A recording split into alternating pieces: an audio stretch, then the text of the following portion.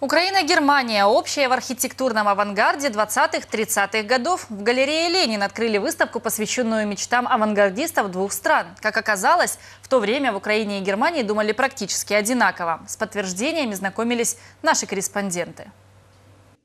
Что в Германии Баухаус, то в Украине конструктивизм. Примерно одинаковые постройки начала прошлого века в Запорожье, Харькове и Нюрнберге. Это было время, когда утопии становились реальностью, социальные эксперименты воплощались в жизнь, а архитектура создавала для этого пространственные декорации. И немецкий Баухаус, и советский конструктивизм использовали эстетику простых форм, полностью подчиненную функциональности. Примерно то же самое происходило в массовом искусстве. Так сразу не отличить различишь, где декорации к «Аэлите», а где театральные опыты Оскара Шлеммера из Баухауса. Мы видели особенности связи Баухауса и особенно стилистические и методологические особенности Баухауса и того, что мы видим здесь в Запорожье. Потому что здесь достаточно чистый, хороший конструктивизм, который выглядит невероятно похожим на Баухаус, на функционализм Гропиуса, например.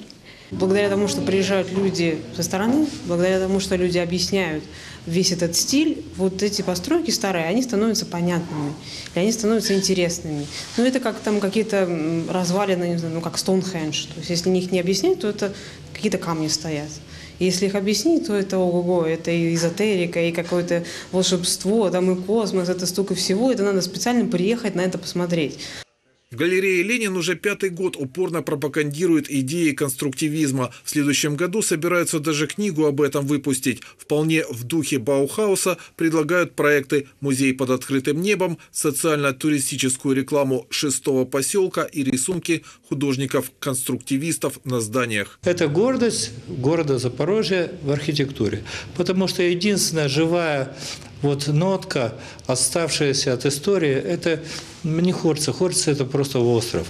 А вот то, что делали люди, строили Днепрогэс и э, воплощали свои идеи в архитектуре, это действительно осталось, это входит в энциклопедию мира по архитектуре. Хотя со времен конструктивизма и Баухауса общество стало, несомненно, более открытым, о каких-то общих архитектурных трендах говорить не приходится, слишком уж все индивидуально. Каким был быт, труд и досуг на декорациях истории, пока можно увидеть в галерее «Ленин» 26 числа выставка переедет в дом Нюрнберга в Харьков.